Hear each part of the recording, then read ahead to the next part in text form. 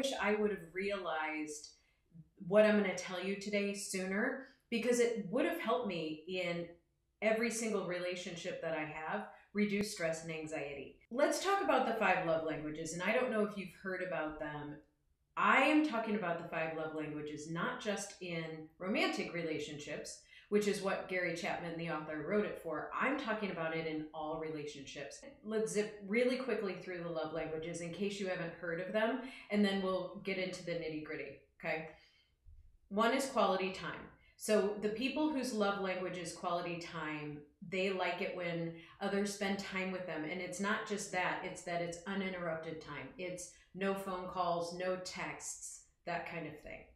Acts of service is the people who do things for other people and show them that they love them.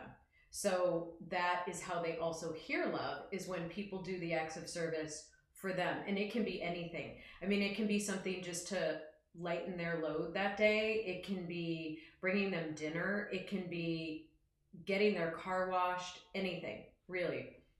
Words of affirmation is the third one with words of affirmation, I mean, it's kind of straightforward. It is I love yous, but it's also compliments and it's, hey, I noticed that you did this and good job.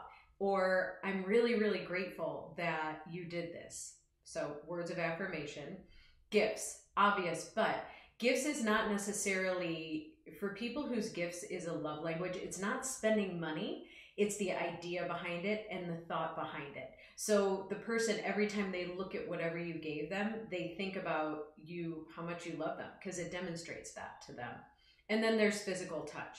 That's straightforward, but it's giving a hug or holding a hand. And in physical, um, intimate relationships, you know, it could be sex and PDA, that kind of thing. I'm going to tell you how I came about my realization in learning and how it brought down the stress for me and anxiety in relationships. One way was growing up, my dad, he wasn't a words of affirmation person. And that's my love language is words of affirmation. So he wasn't at a girl, he wasn't I love you, but his love language is acts of service.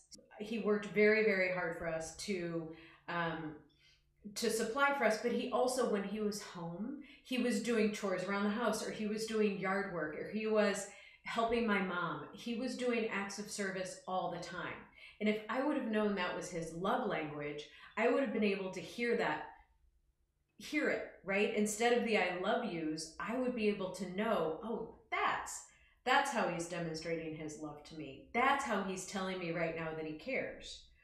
Another example is my husband and I have completely different love languages you can take a quiz and I will um, I'll attach a link in the description below. You can go to the Gary Chapman site, the love language site, and take a quiz and find out which one is yours. And I asked him to take the quiz and it totally different. So mine is words of affirmation and my second one is probably quality time. His are acts of service and physical touch. So we were missing each other right? Um, because I would give him compliments and I would tell him I love him or text him nice things. And it just, that wasn't his love language. His was wanting to hold my hand all the time or wanting a little bit of PDA in public, which I've had to get comfortable with. And I'm not saying that you have to get comfortable with physical touch that, you know, isn't up your alley, but I'm just trying to tell you how these disconnects can happen. And when you remedy them and when you understand them, it reduces a lot of stress and anxiety in your relationships. When we went through this exercise, because he's really the only person that I've tried to do this with, he got better about words of affirmation. He's, you know, he leaves me little post it now. He texts me nice things. He says, at a girl. And I I love that stuff. It's it's my love language. And I try to do things for him. You know, I tr- I've gotten more comfortable with the physical touch thing and his is also acts of service. So I do nice little things for him and he knows he can hear in those things that I care about him and that I love him. So another example is I have a friend whose mom is always doing so many things for other people all the time So obviously, her love language is, you got it, acts of service. But my love language is words of affirmation, and she doesn't give those. In fact, um, she gives kind of the opposite of those most times. So when I discovered, because I did, I honestly I didn't think she liked me, and when I discovered her love language is acts of service, oh, she actually really likes me because she would do things for me all the time. Do you see how this works? And do you see how not only can you realize how people are expressing that they care about you or that they love you, but also how you can demonstrate it to other people when you figure out theirs. And it reduces a lot of friction, a lot of stress, and a lot of anxiety because when people feel safe and cared about in relationships, that le- the stress level comes down, doesn't it? So this trick, I wish I would have learned this trick when I was 5 years old.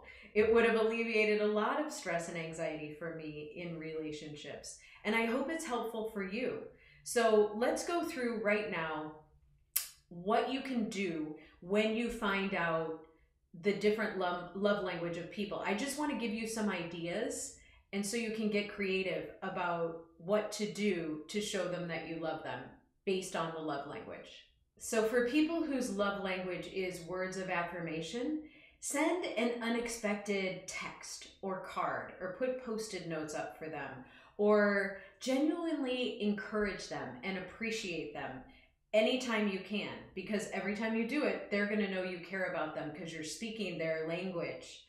I know it sounds a little bit cheesy, but it's it's important and it actually works. So if it's physical touch, hug someone, you know, give them a little squeeze on the hand, give them a little pat on the knee, nothing inappropriate, obviously. And if it is an intimate relationship, you know, intimate things touch wise that you can do with your partner. And it really speaks volumes to them about how much you care. Receiving gifts. Um, if you know somebody's love language is receiving gifts, it's not about going out and spending so much money. It's just about little thoughtful things that you give them when you get a chance. Um, it's tiny, tiny things, but they make a huge, huge difference.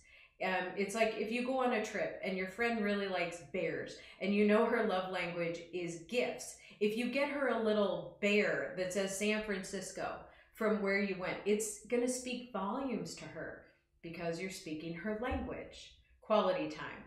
Create special moments. Create, go out of your way to make time with that person.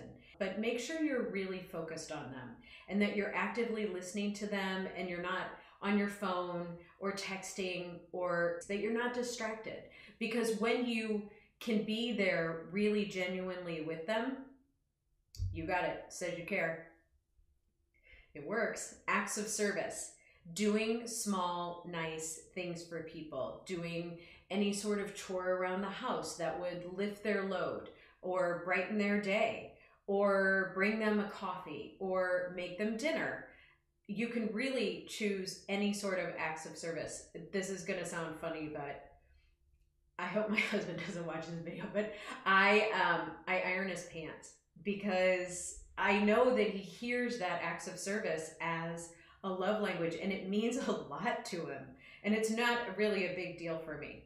And it helps. It really, really does. I feel his energy change when he sees me doing that. So go out of your way to help alleviate stress for them by doing little acts of service.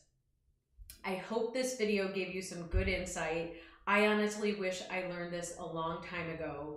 If you have any questions about it, ask me in the comments below, and I would love to hear from you about what your love language is and how you express it, because that will help other people get some insight on that too. Thank you for watching. If you like the video, please give it a like, and I will see you next week.